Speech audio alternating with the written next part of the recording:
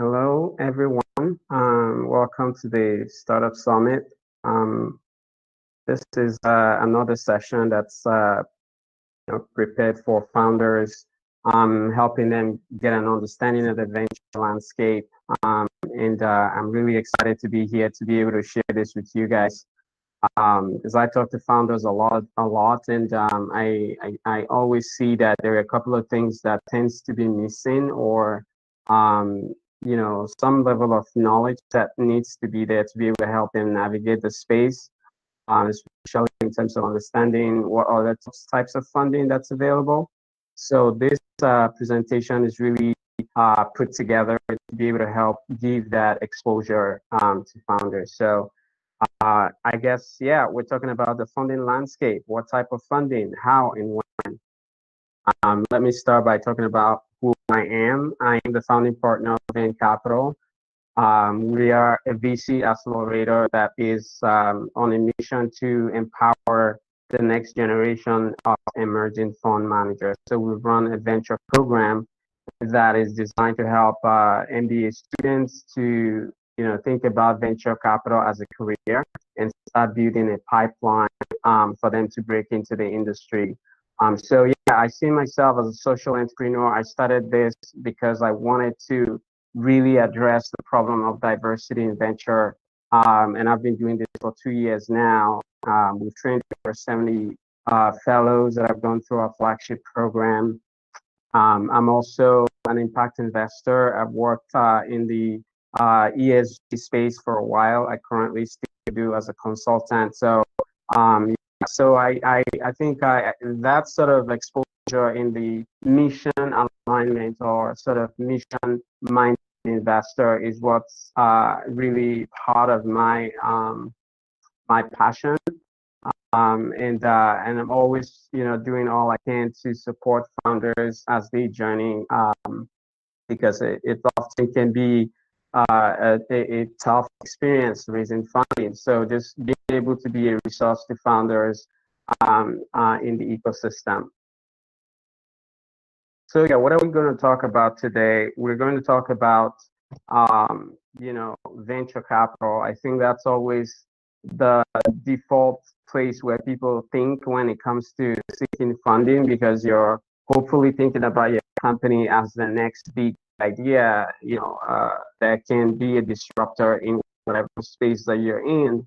Um, so I'm going to start by talk, just giving a little bit of intro into venture capital, and then we'll move on to talk about other types of funding that's available to founders, um, and then you know look at how to fundraise, um, and then when to fundraise. Um, so hopefully, you know, you'll find this very useful. Uh, you you know journey in in your fundraising. Um, so yeah, you know, after that we'll have Q and A sessions, and I'll be happy to take questions from anyone. So what's venture capital?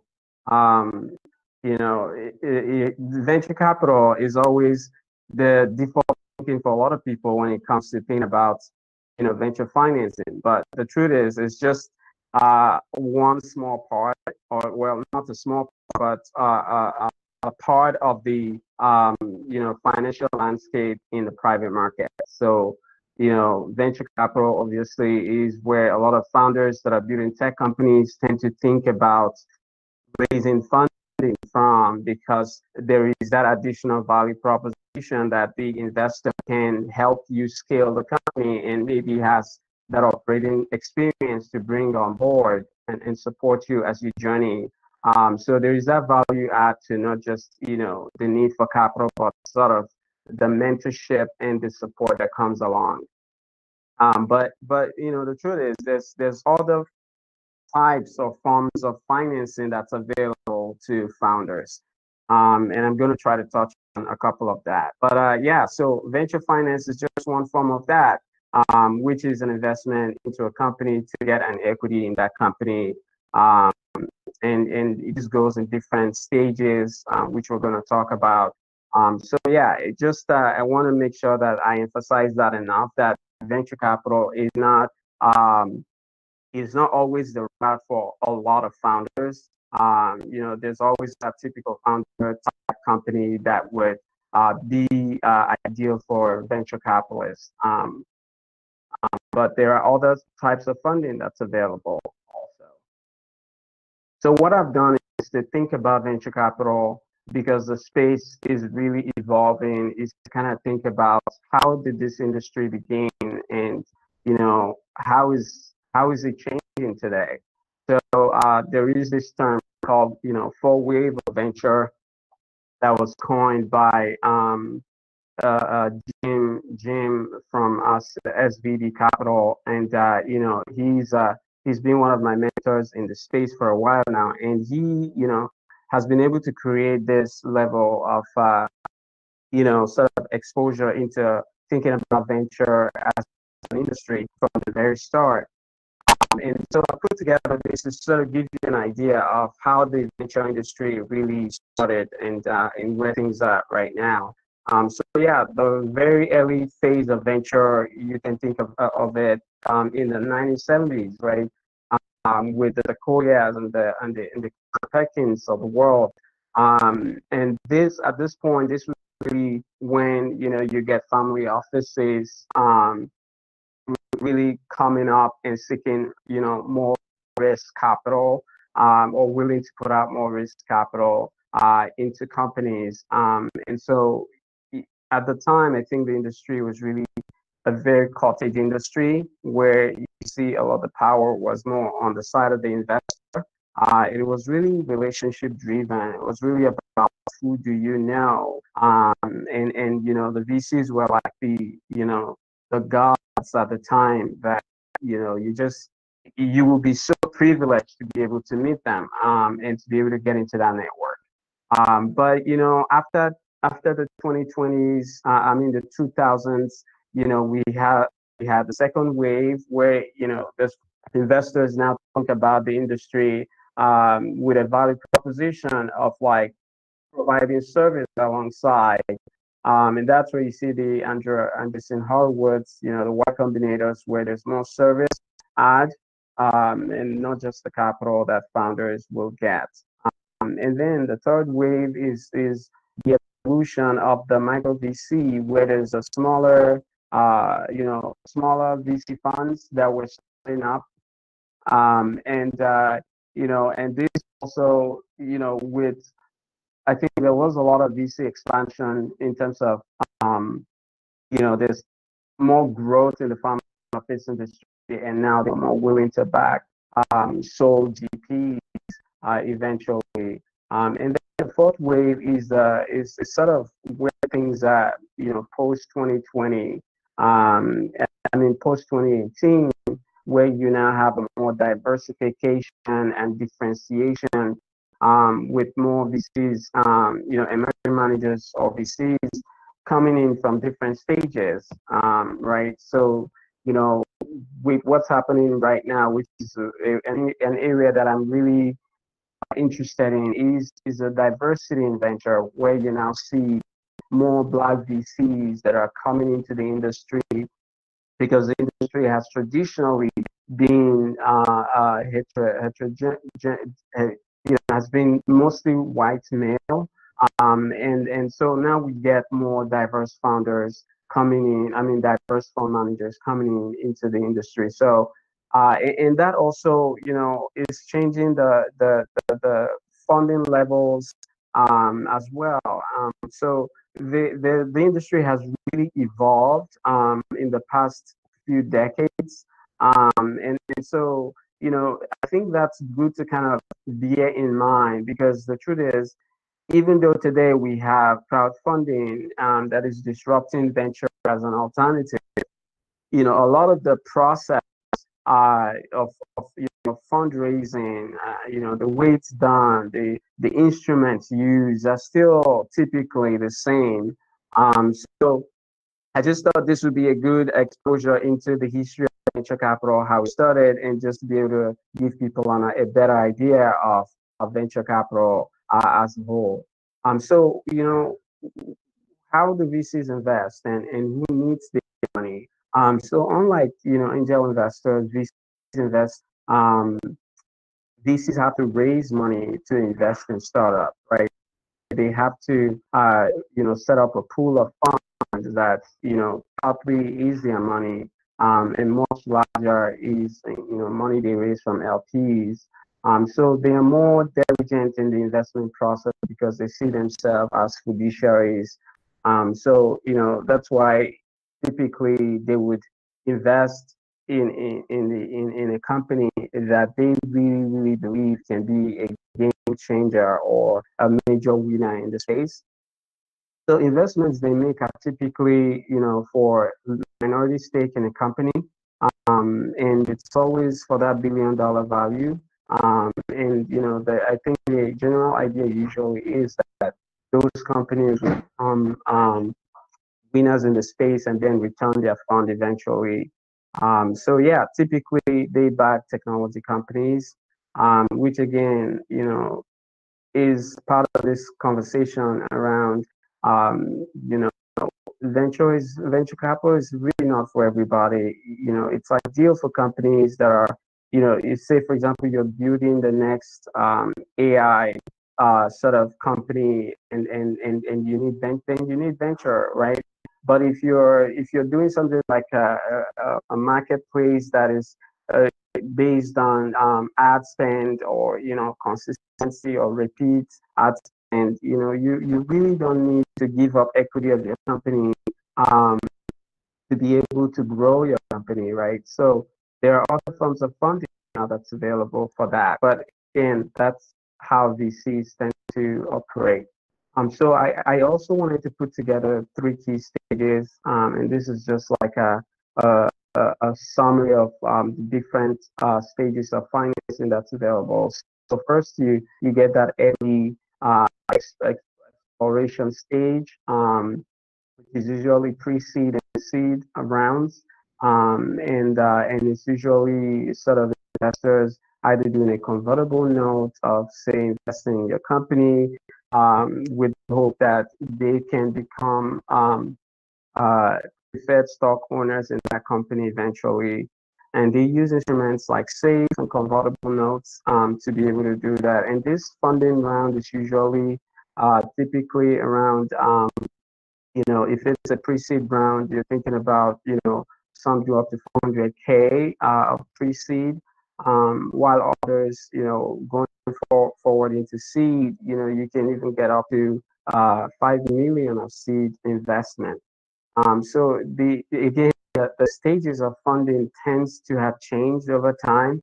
Um, you know, there's this saying that you know pre-seed or, or seed is the next uh, Series A, uh, which really is true because seed investing in the past, so a few decades back, it used to be very a much smaller amount, but today you can get seed round of uh, you know one to two million dollars um, or even more. Um, and and and then when you go to Series A, you get even, much higher amounts as well.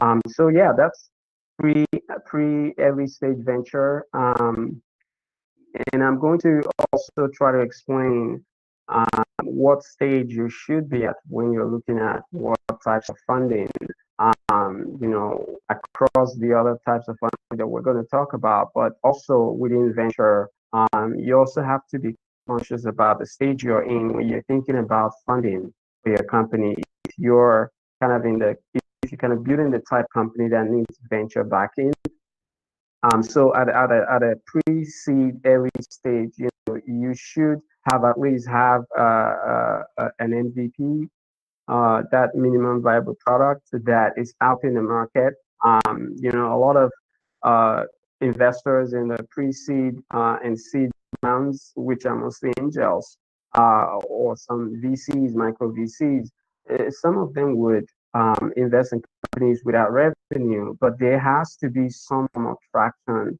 um, for the company. You know, it, it, it's not a place where you start thinking of an idea. Well, some do invest in, you know, pre pre ideation even before the company is formed, but still very much an ideation stage. Um, but I guess the point I'm trying to make is that you know there is this shift now where to even get pre-seed investment, there has to be significant traction founders have to show um, for VCs to be able to back them. So that's something to bear in mind. Um, and then, you know, once you've done that initial, um, you know, pre-seed round, um, and you've done really well, and you're kind of thinking about moving to the next milestone and and make and, and seeking a Series A funding, then you're looking at um, you know at uh, a priced round um, with an investor. Um, so I think the difference again in terms of price or in terms of the, the amount that is raised um, usually is um, you know you can get seed rounds of, of uh, I mean Series A rounds of up to 10 million today, um, and that usually was much lesser many years ago. So the funding rounds tend to be growing um, with time and and and uh, you know after Series A, I think the next stage of funding, you know, you think about Series B, C, um, and there's so much more now. Um, for example, uh, you, you, know, there are companies now raising Series Series G, like Stripe, that just raised 600 million um, of Series G. So it, it's again, companies are. Uh, I mean, the industry is really evolving, and some companies to stay much longer in the private market um, to build a, much larger valuation for the company before um, they think of exit um, moving forward. But yeah, so that's the three key stages. Um, so the pre-seed um, at a stage where you're still, um, you know, you haven't you, you haven't eventually found a product market fit, but you're uh, at least you have a, a working MVP, you have a customer base, um, you know, you're trying to figure out, you know, your product market fit. Um, at that stage, you you know, you're typical for a pre-seed investor to be willing to consider and invest. Um, again, they have to see the traction. Um, you know, some would do it without uh, revenue, um, but overall, there has to be some form of traction um, that can compel the investor to be willing to invest. Um, and then Series A, you know, it's a priced round. Um, so that so the company has to be valued. Uh, for pre-seed, you know, you can actually, you know, I think the good thing about pre-seed or seed investing is that investors don't necessarily have to price the round. Um, and it's good for the founder because that you know they they they they have, they don't have to stick to a certain price the equity in the company. Um, so they can build value for the company um, and then get to a point where if they transition to the next round of funding, then you know that uh, whatever funding uh, based on the note can now be converted into equity based on the new price uh, of the round. Um, so that's a good thing about that pre-seed. And then Series A is you know you're you're already proving a lot more in terms of the product and the market um, and you need that capital to be able to um, get to product market fit. Um, so you know series a would always be the typical way to go about you know scaling to that point. And then post series a is growth really um, getting going beyond product market fit to um, you know, go to market fit? Like, you know, how do you grow the company really? How do you do the sales and the marketing? How do you uh, have a playbook of sales that can be repeatable? Um, and and so at that point, you know, you're already proven to investors that you know you're, you there is a product market fit, but but but still there is a need for growth for the company. Um, so yeah, that's just uh, a brief on on on the types or the stages of venture or just venture capital as a whole. Um, but my focus really because uh, when I see founders a lot, um, I, I realize that a lot of them are seeking the wrong kind of financing for their company. So what I've done is to really help think about alternative forms of financing that's available today that can help you build your company to a point where if then decide to go to venture uh, or, VCs, you you have a valuation for your company and you have a stronger bargaining power um, when you you know when you're negotiating with them. So what are these other types of funding Um, so um, again, what I've done here is to kind of provide different stages um, and then different funding that you should be thinking about. So if you're proving your your problem as a founder, you're typically at that very ideation stage. So you're you know either going to do this with your personal savings um, because it's not it's not expensive today to build a, a minimum viable product, right? There's, there's a lot of tools today that are available. Um, and when you do that, you reserve equity in your company. You, you know, you're not selling it out very early. Um, so you can really build the product out to the way you want. Um, so, you know, you, you use personal savings to do that. You can, you know, get funding from family and friends. Um, and again, this is where grant com, com, comes in. Um, so you can get grants to help you um, to build your product. Um, so, you know, to again test out your the problem you're trying to solve as a founder. Uh, how how great are you in solving that problem? How you know how personal is it to you as well?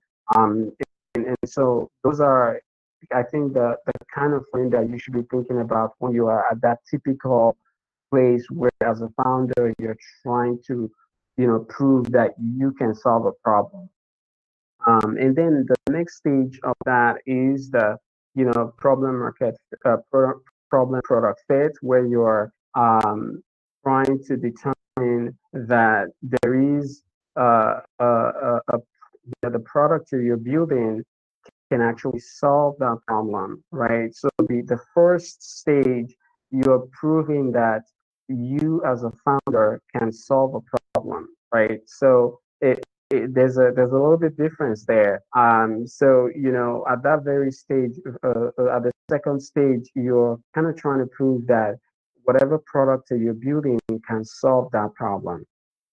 So at this stage, grants, angel investors, incubators, loans, crowdfunding, um, pre-seed venture again is uh, sources of funding that can be considered.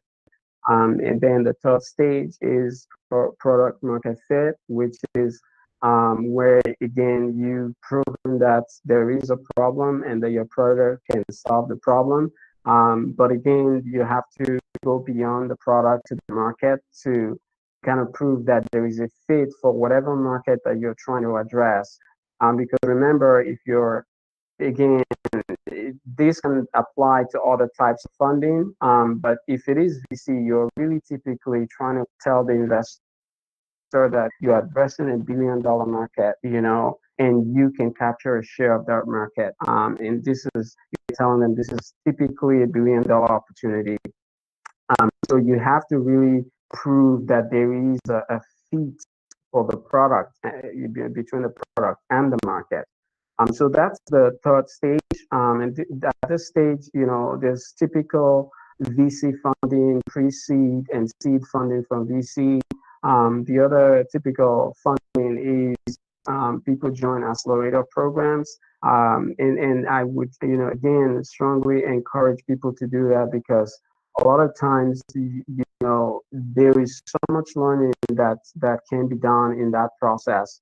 Um, so, you know, accelerators are always there to help you navigate uh, the, the, the market and the product. And, and they have, you know, mentors and, and industry experts that are already, you know, have done this before that can mentor you through that process. Um, so incubators are a really great place, and a lot of them would give you equity and it would give you capital in exchange for a small equity in the company. Um, so yeah, incubators, angels, typical for uh, the third stage of financing. Um, and then moving on from the stage, you know, if you've been able to prove all these things that we've talked about, you're now thinking about validating the market uh, the go-to-market, which is really the growth stage uh, of the company. Um, that's where Series A comes in, Series B, C, um, and fourth is really the scaling, um, you know, getting into new markets. Um, and that's where we see, you know, the large, the really large rounds. Um, some of these companies that we, we love and use their products every day because they've really proven they've proven that they can be a found, you know, as a founder, they can solve the problem. They've proven that, you know, the product can solve the problem. They've proven that, you know, there's a fit with the product on the market. Um, and, you know, they've also proven that, you know, they can sell and, and, and they've really scaled um, and they've been able to uh, get into the market. So at the fifth stage, they are really trying to uh, get additional capital just to continue to grow and extend into new markets. Um, you know, and maybe some of them delay, you know, exit because they want to grow the value of the company even more. Um, and then the final stage is, is you know, reaching exit. Um, so I, I am hoping that this would help guide founders because a lot of times, you know, I, I when I look and I listen to people talk about funding, you know, there's less conversation about the stage where you are as a founder when you're seeking this funding. Because if you understand the stage you are and the funding that's available for that stage, you will be in a much better position to navigate your fundraising um, and also uh, you know save equity in your company and and and and and achieve um, growth as you want because a lot of times you're looking for capital um, and you know and there could be other ways to get it without dilution without giving up equity in your company so um, so yeah this is uh, just like a uh, a breakdown of the different stages. This is what I usually use with founders when they approach me. Um, again, typically they would come, you know, seeking venture funding. Um, and a lot of the time, you know, probably 90% of the time, they are not ready for venture funding. Um, so I always use this to sort of guide them to say, you have to be, you have to kind of look back and, and, and ask yourself, where are you as a founder or as a company? Um, are you are you just trying to build an idea? You, I mean, are you just trying to build a product based on this idea you have about solving a problem? Is that where you are if you don't have a product yet? Um, and you're already teaching to angel investors and VCs, um, it, you know, you're really wasting your time, right? Because what you really need is to find a way to build that product. Um, and you know, if you don't have personal savings that you can use to do that, then you know, ask friends to kind of you know help you or seek grants that can help you, which is equity-free money, right? That can help you build that product. And I would not encourage loans because you know you are most likely going to eventually find out that the product that you think would change the world is really not going to change the world or it's, it's not going to be something people are crazy about, right? So, uh, you know, a lot of times you're excited about it, um, but, you know, the market is going to hit you and you realize that, oh, okay, this is just personal obsession just, you know, so there's a lot of learning that happens. So you cannot afford to take loans to to do that learning because you're going to have to pay them back, right? Um, so so you know you have to kind of ask yourself that question. Is that the stage that I'm, that I'm in right now as a founder? Um, you don't send VCs your pitch deck of ideas that you, you think are really going to be great. Um, maybe you have created a website, you know, but you don't actually have a product, uh, whatever it is, or service, or you know, and you don't have customers. Um, you know, so at that stage, you, you're still very much stage one. So you shouldn't be thinking of VCs or even angels at that, right? You should be thinking of how am I going to find, uh, you know, how am I going to, you know, even bootstrap and just like build that initial idea. Because if you're really committed and you believe in that idea, then you should, it should cost something. You should be willing to pay uh, something out of your pocket to you create it. Um, and then um, once you prove it, you know, you can now move to the next stage. You, you can start talking to investors, um, you know, whatever investors they are, you know, and and and, and then you have something to show. Um, so so yeah, I just I, I don't know. I'm, I'm emphasizing this over and over because I I see founders make this mistake over and over, um, and a lot of they give up on the idea because they cannot raise the funding for it. And, and, and, and who knows, that could be a great idea that could potentially be the next disruptor. Um, so, so you know, it, I think when funding is not available, it's not always a question of the the idea not being a, a great idea or suitable idea. It's always about you know what kind of funding are you seeking at that point, right? That can help you achieve those milestones at the next level. Um, so so yeah, that's again that's for that initial. If that's where you are, you just have the idea, you haven't built a product. Please consider personal savings, family friend grants. Um, but if you if you've gone beyond that and you have a product, and now through your product you have customers, right? And you know through that, whether it's a product or a service, you have customers. It could be on a, in a beta stage, right? You're still testing it out, uh, but you have actual customers, uh, people that are using it and, and they are testing it for you. Um, and from them, you can get feedback and kind of understand if you know the the value that you're proposing is is what it is, and if it appeals to the consumer or the customer, whether it's B2B or B2C product or market that you're addressing. Um, so so that's that you know that second phase kind of if that's where you are, you should use grants. You know, you can use angels, you can use incubators. You know, join an incubator. They can help you think through that product and problem and make sure there is a match. Um, in crowdfunding, we're, we're going to talk about uh, some of that um, uh, um, um, subsequently. But yeah, crowdfunding VC pre-seed um, is also an option. Um, so yeah, I think I'm emphasizing those early stages of proving that you as a founder can solve a problem or you know, you know, proving that the product can solve that problem, um, and and also achieving product market fit.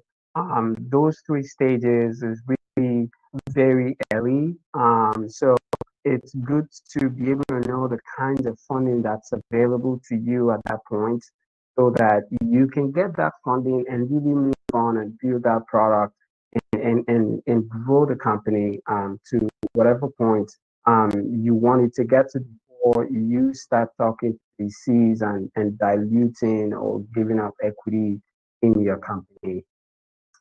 All right. Um, so, you know, what other kinds of funding available? Grants. Um, so grants is equity-free money, right? That allows you to build or even rebuild uh, as we are currently in this climate of COVID.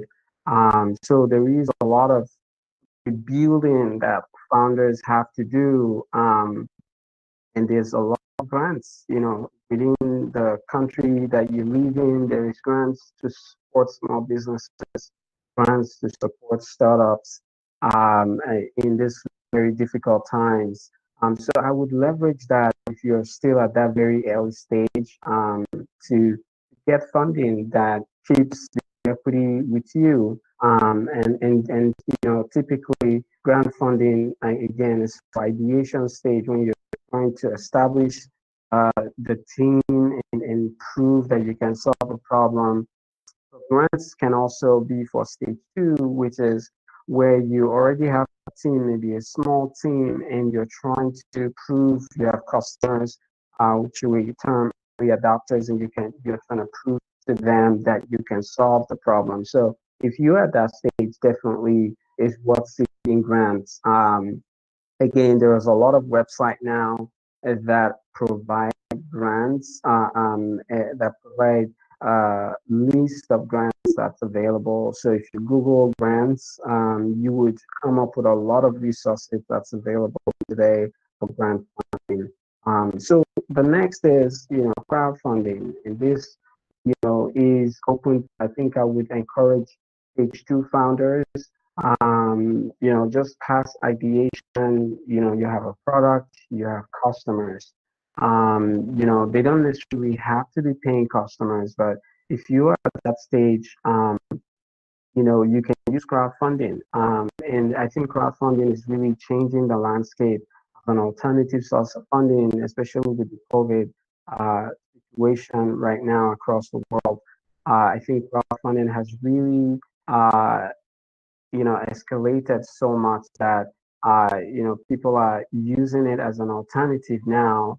Um, so you know, even I think even at ideation stage today, you can you know use crowdfunding to actually prove. I think some people call it failing fast. You can use it to actually test out the the the idea in terms of like proving that you uh, I mean that the product can solve that problem, right? So, um, you know, if you think about how crowdfunding works, you know, typically you you as a founder you raise a small amount from a large group of people, which are typically unaccredited investors, um, to fund the project, a project or your venture.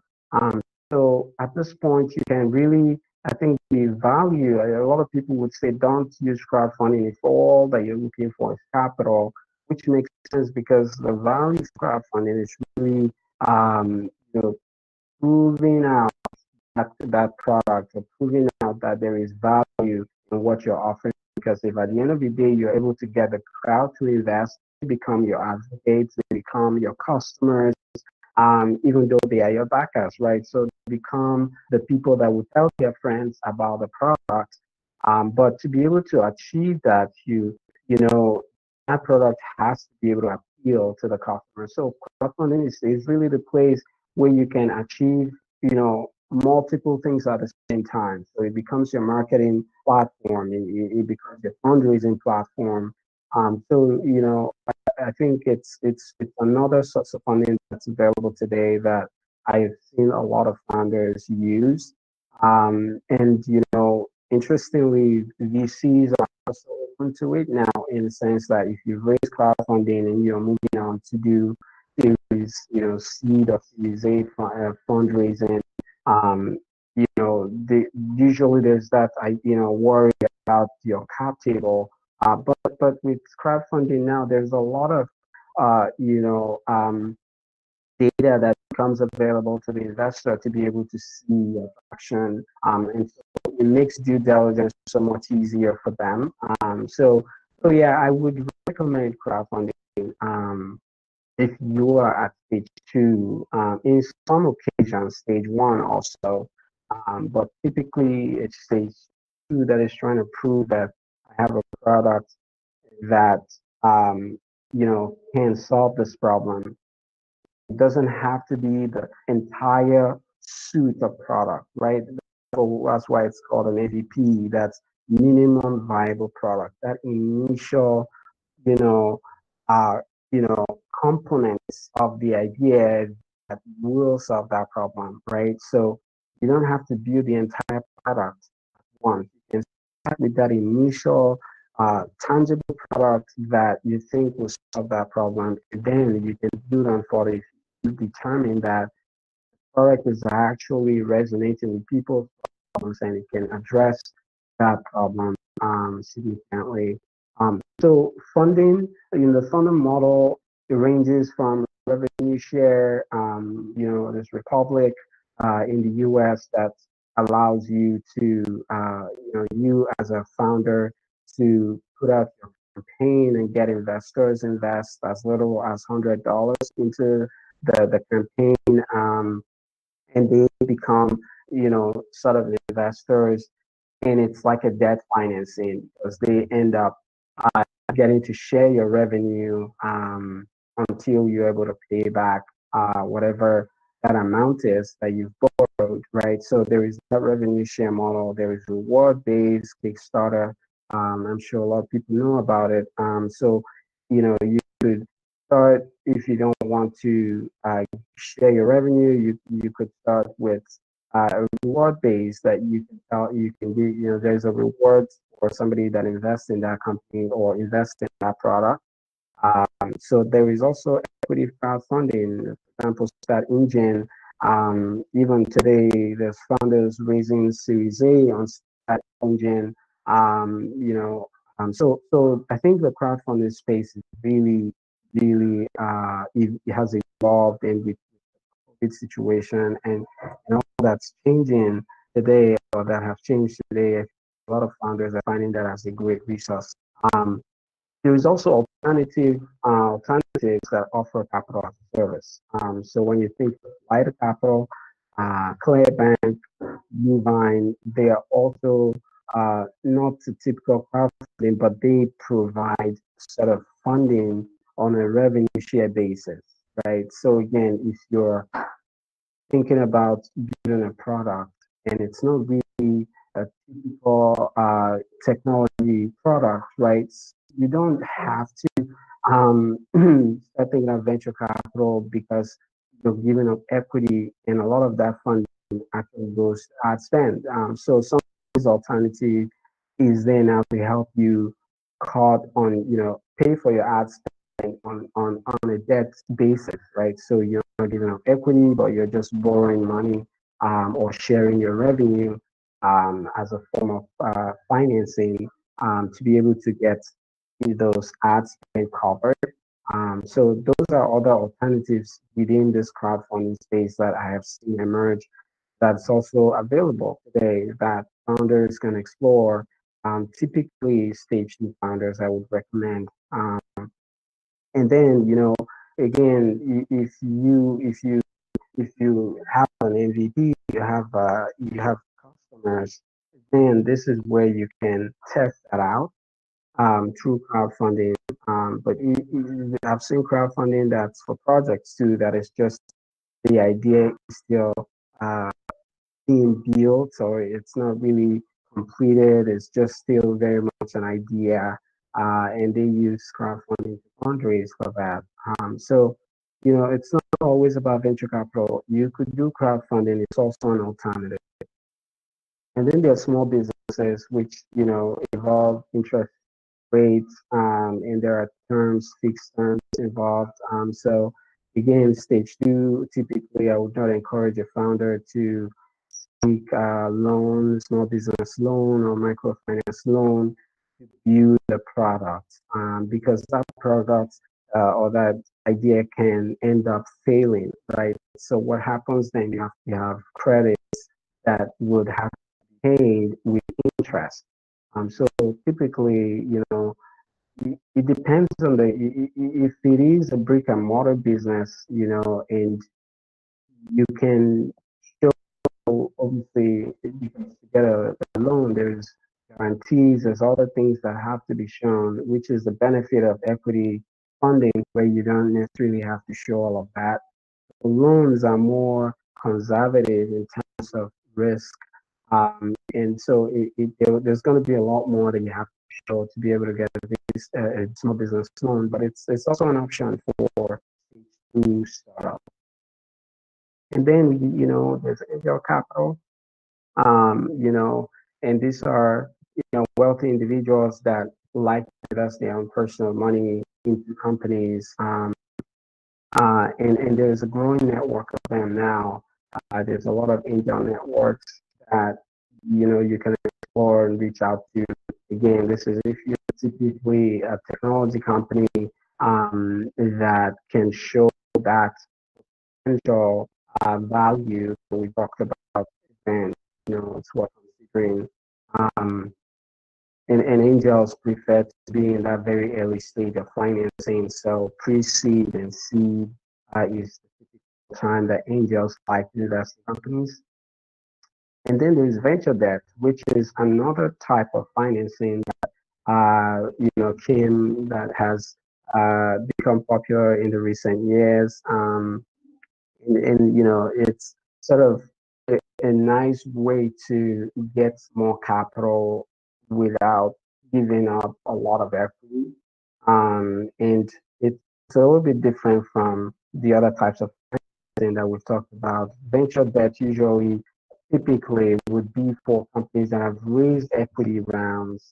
Um, and so, you know, for the investors that have participated in those rounds, it's beneficial for them if there is not too much dilution. So when you do a venture debt, essentially you can get much more capital, maybe 20 to 30% more capital with less equity being given out, um, which helps investors on your cap table because they, you know, they don't want to see more dilution. So if there's a way you can get more capital with less dilution, um, or giving up less number of equity, then that's also a good alternative.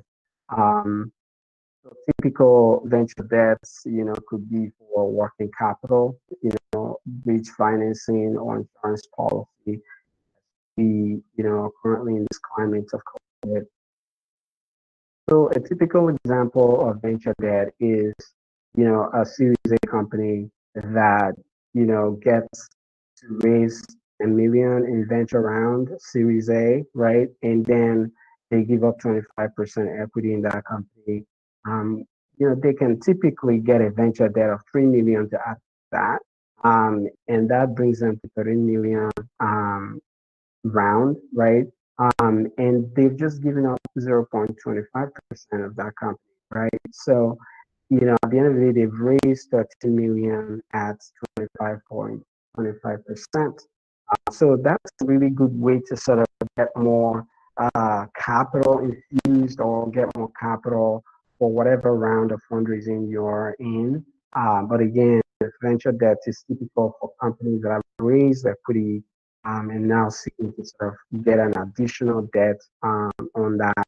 And this also tends to be the case with series, you know, G, E, F, right? For example, Airbnb did a recent um, um, round um, before they went public um, this year. Um, so it's again, it's another another great way. I mean, last year, it's another great way to uh, get more capital um, and you know with very little uh, equity involved.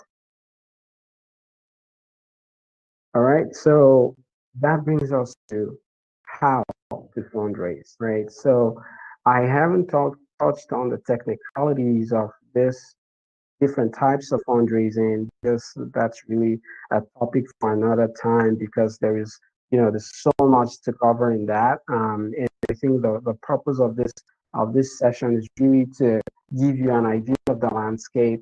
That's not really to kind of walk you through how, you know, um, the, the different types of funding, but again, yeah, to walk you through the types of funding, but it's not really, you know, it, it's very little. It's so much that we can cover. So I'm trying to focus on kind of giving you an overview and then um, talking more about the process itself of fundraising. Um, so that's what we're going to be talking about now. Um, a very good friend of mine, Nick Becker, who is uh, one of the um, well-known uh, growth, you know, fundraising hacks, you know, in Silicon Valley, and you know, he he he, he said it right. You know, that fundraising is a numbers game. You have to be willing to do so much of conversation um, to be able to get to that round of, of be able to raise the money that you want to raise. So, you know, it's something that you have to work on diligently. Um, and, and again, it, it has to be, you, you have to put a lot of numbers into it. And numbers, not necessarily the amount of fundraising, but numbers in terms of how many people you have to talk um, be able to get there. So this is again what people do wrong um, when it comes to fundraising. Um, I get these emails a lot, or you know, LinkedIn uh, messages a lot. Right, I'm the type person that if you send me a LinkedIn request, I would accept, um, irrespective of whatsoever. I would accept. Um, so the end of the day, I always know that after that after that uh, request comes the message, right? So and I would always get this message, you know, typically from founders in introductions to investors, right? So, you know, if you don't know what you want, how can I help you? I think that's the nice way to put it, right? So, you know, asking for angel investors is just too broad. You have to be more specific um, about it. So that's again what I'm trying to do here to help you to be more specific in terms of how you fundraise. So think about fundraising as a sales process. You know, so you have to generate the, the lead, you have to qualify the lead, you engage, and then you close. Um, this is really how you get your fundraising done. You know, you can't depend on sending messages here and there and hoping that there will be, you know, responses. Um, and, and typically, I will tell you how this industry works. You know, you can't really help somebody you don't know. You know, you got to know somebody before you can. For example, I have a lot of investors in my network, right? And I always get requests from founders that want that introduction, right? So I want to preserve my network and I know my investors what they want, the kind of founders they back, right? So if you send me a request, I I typically want to be able to understand what you're doing, you know, um, build that initial conversation relationship, understand where you are, um, and then determine if you're a fit based on the investment pro- preference of, of investors in my network. I can better guide you um, in that process. So, you know, think about this as a process of, you know, generating leads, numbers of investors. You get to qualify them and determine if they're good, you know, they fit whatever uh, company they invest in, the company you invest in, there's a, a fit there. Um, and then you can start engaging with them. And hopefully, if you do it right, you'll be able to close. Um, so yes, it is a sales process. But what are you selling, right? So you're selling the team. That's I think a priority for a lot of investors. They want to invest in a team that can execute, a team that has the grit and tenacity, you know, a team that has the passion. Um, in, in a lot of cases, a team that have that exceptional founder that can tell their story accurately or can tell the story com- compellingly, right? That have experienced that problem before. Um, you know, and, and I can tell you, VCs tend to have this way they qualify founders, right? They, they know founders that are change makers. Uh, um, you know, they, they, they, they look at founders in different ways. There are founders they consider as dynamos, like exceptional, brilliant, smart. So you you have to um, think about your team, obviously you yourself, right? If you're trying to solve a problem, what qualifies you to be the person to solve this problem? Have you experienced this before? Do you have the technical ability to build the product?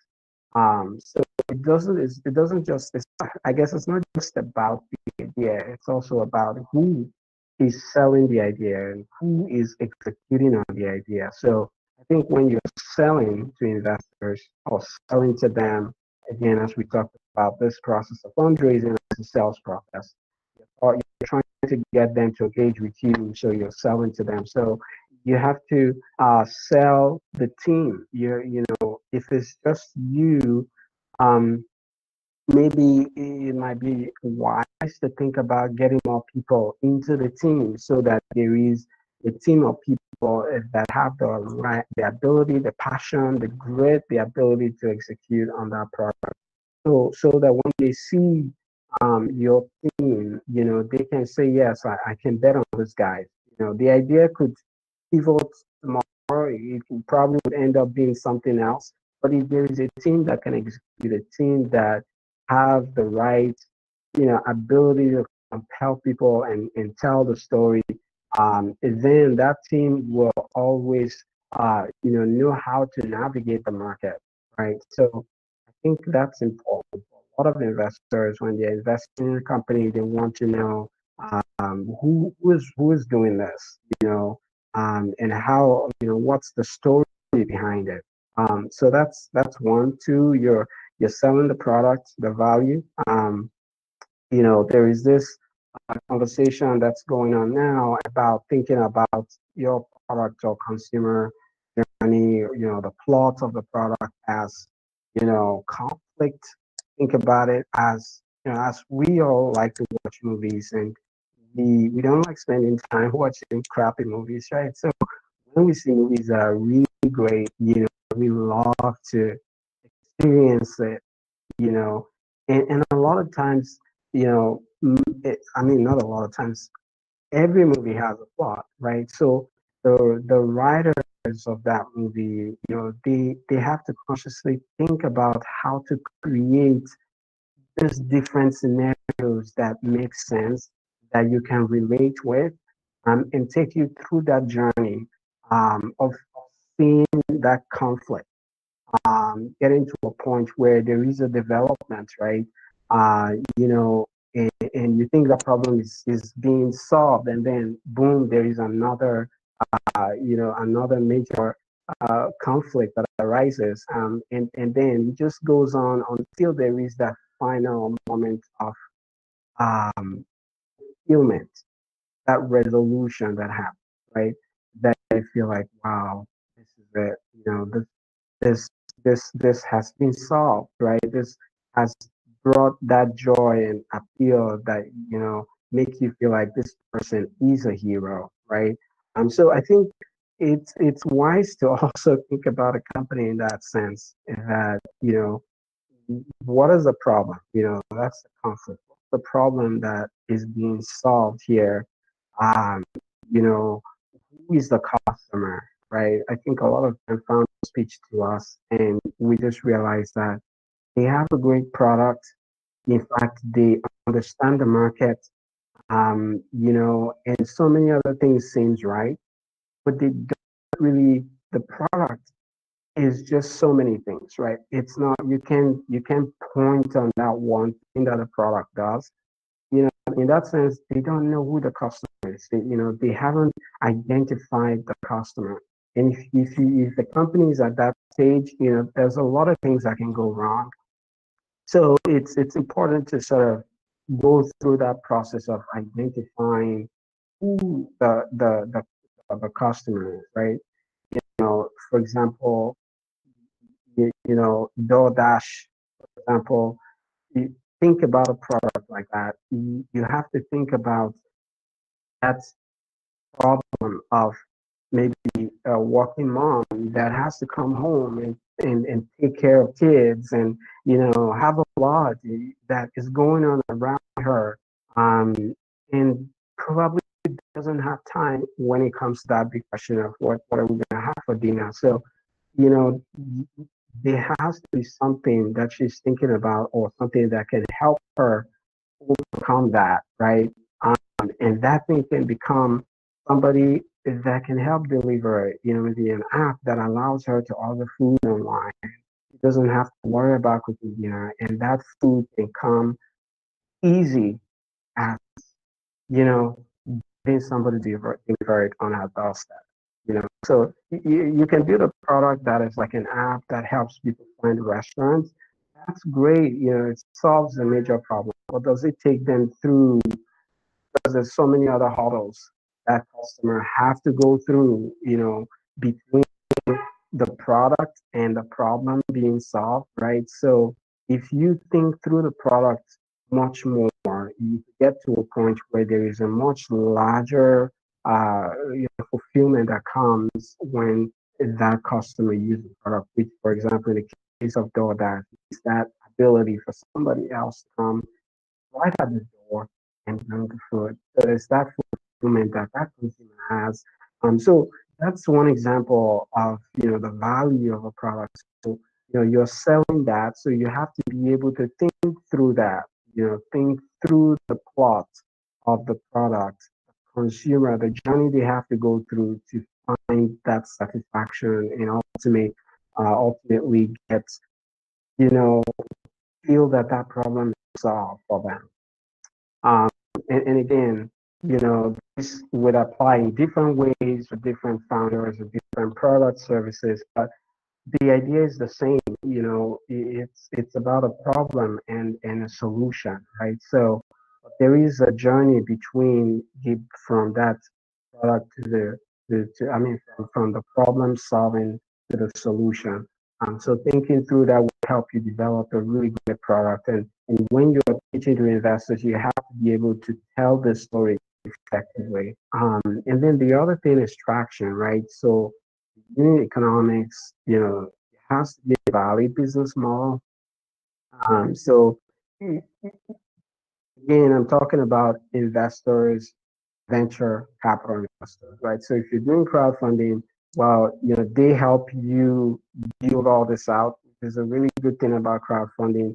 You, you know, if you have a good product and idea, maybe you have a few customers, you know, they can help you think this through and you know further uh, build out the business model. Um, well, they don't necessarily build it for you, but there's a lot of other support that is provided. Um, so I'm not talking about using crowdfunding now. I'm talking when I talk about unit economics and, and the value business model.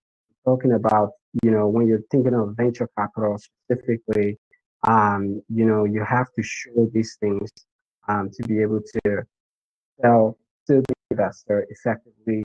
Um, and then the market opportunity, you know, obviously billion dollar has to be a large market. Um, and then, you know, the terms of the investment or the ask that you have has to also be favorable to the investor. So those are what you're selling when you're, you know, thinking about fundraising. You know, it's a sales process. Is what you're selling. Um, but it doesn't just end there, right? So you have to generate, you know, this is like a 50 view, let's say, of my friend Nathan. You know, you have to kind of look at this. This is really the process to getting to the very end of it. So from, you know, the job is to get investors from the top funnel and get them to the very end of it where you get that uh, agreement executed. Um, so you have to generate that initial broad database of investors, bring them, you know, you select appropriate contact persons, um, filter the matches, um, initiate the conversation, and then do follow-on due diligence, and, you know, before you eventually get to the it. So that's really process fundraising, right? Um, but let's let's go a little bit deeper. Um, so say you're building your funnel. Again, it's a numbers game. I can't emphasize that enough. So you have to aim for a large number of investors, do a lot of pitches, get typically a small amount of, you know, commitments. Um, so, you know, this is something to bear in mind so that when you're starting off at that very top of the funnel, you have to have a large pool um, and then working your way down that pool, you realize that all that will go down. Um, so this again, step by step, you can start building your investor funnel with LinkedIn, uh, you know, with AngelList, Crunchbase. You can get organized with CRM. Can start having the conversation in a hustle like you've not done before. Um, so how do you fund or what do you fundraise? I think by now I hope that people will be able to understand or be able to answer that question, um, which is when you need capital to grow. And I've shown earlier on the different stages and what kind of funding is typical. Um, so yeah, I got this resource that I hope will be helpful if somebody's thinking about using Nathan's platform. I have uh, recommended it for a lot of founders, but fundraising is a great platform that allows you to sort of build that investor funnel um, you know, so instead of creating a, a, a spreadsheet uh, as your CRM, you can use a platform like Founder And if you use Vencapital, uh, you know, this deal discount code, you get a discount from them. Um, and that's it. Feel free to ask me questions, um, and I'll be happy to take them.